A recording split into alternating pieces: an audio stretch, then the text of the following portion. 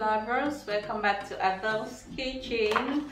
In today's video we are going to eat steaks with some rice and tomato sauce.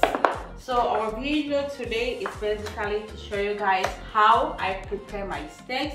I'm going to grill it, I'm going to use the air fryer. You see it's already seasoned. I bought the seasoned steak easy to go you just need to put it in your air fryer and you're good to go you can use your oven to grill it or the air fryer or even your charcoal to grill these steaks. And I bought this steak from City Gross. You can get it from any grocery shop you want here in Sweden. And we are going to use just tomatoes leeks garlic and ginger to do our sauce.